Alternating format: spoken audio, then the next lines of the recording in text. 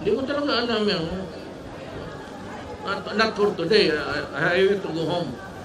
Ah, sa labas po ako the whole day. Some are uh, regarding arrests. Bakit siya na-aresto? Sir, for the uh, cyber libel, Sino man nag-file? uh, William Keng, sir. William Keng, uh, nag-file and then the resolution of the DOJ was released February 4, filing the court.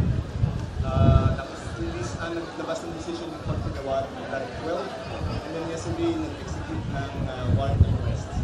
Well, you know, once a case is filed in court, unless it is one of the offenses that can only be uh, uh, what you would call released through recognizance on your own, uh, which are really very few. Once uh, the rule is once the case is filed in court, talagang ano yan, yung lalabas ang warrant. Sir, they're saying it's an Pero, attack. pero kung sabihin mo na uh, what can you say, I cannot say anything. I have not, I have yet to read. Uh, may, may nagsabi sa stage kanina, but say the same uh, answer. I cannot give you an opinion or say anything. Because they're saying, and some of uh, international uh, journalist organizations are saying this is an attack on the media. Blaming the administration for it. Tosos Mario Joseph. Apart from it, actually, I do not uh, really sure. O babae, pati bata. Wala ko dyan. Ah, hindi ko kilala yan si Deng. Frankly, I do not know him and what, what prompted him to file a case. I've been mayor for so many years. I've been the subject of all kinds of attack, personal and whatever.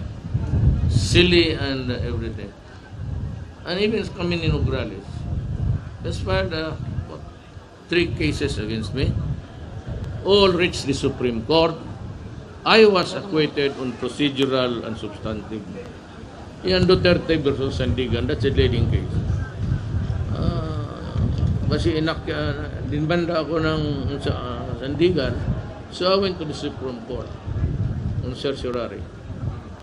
I was acquitted. Do, yung isa, about the teachers uh, program na binigyan ko ng added French uh, benefits.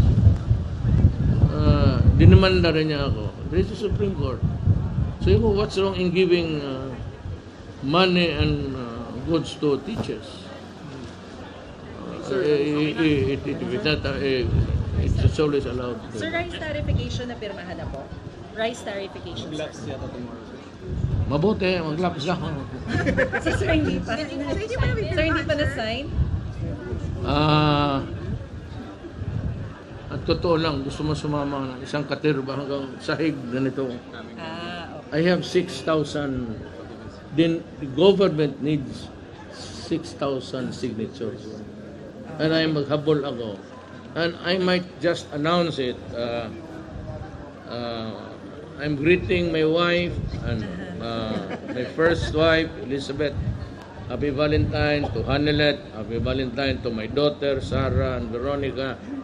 Uh, lahat ng mga babae na may kaugnayan sa buhay ko. Ah, pati kayo.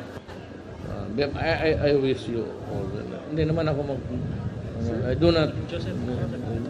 Yung extended maternity leave, extended maternity Right. leave, nandito daw po yan. Meron dito yung ano ayaw pahabaan. Meron gustong pabaan. Ang decision niyo po, I would uh, uh, uh, Pia asked me to deliberate on it to tonight.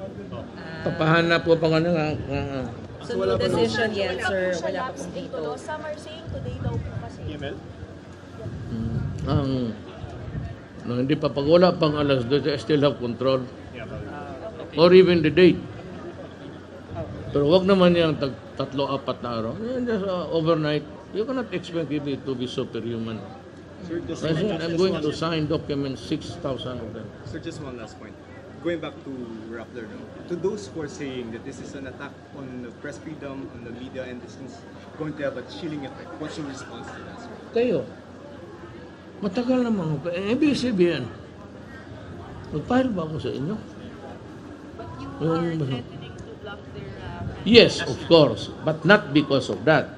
But because of the money na tinanggap ng ABS na hindi lamang kami sinabihan na yung pinagbayaran namin na pa, ah, mo, ano ito, yung ah, ah, political advertisement time, hindi lang man natuloy. At kung hindi ko sila inatake, hindi naman na isauli yung pera. You cannot operate a network like that. And it's not only me. Sis Escudero, ako, marami yan. Just about uh, 20, fif- 15 orders na ginawa nila ganun. Sir, just Thank a you, thank you. What Thank is you, your thank you, policy on critical media then? Ha? Your policy on critical media? Uh, y- you remember, total kayo ang critical, bahala kayo dyan. Thank you, Kung thank you. matuluyan kayo, Thank you, thank you. it, it means nothing to me. Thank you, thank you. Hindi naman totoo lahat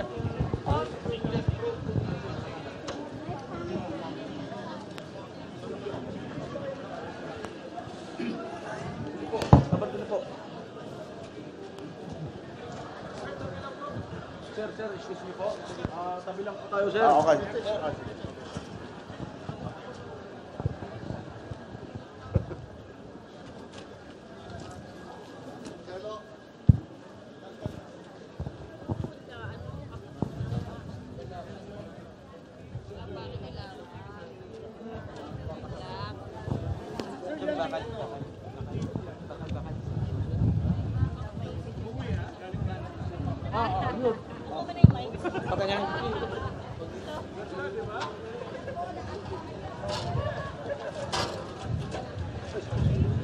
Jangan, Bapak.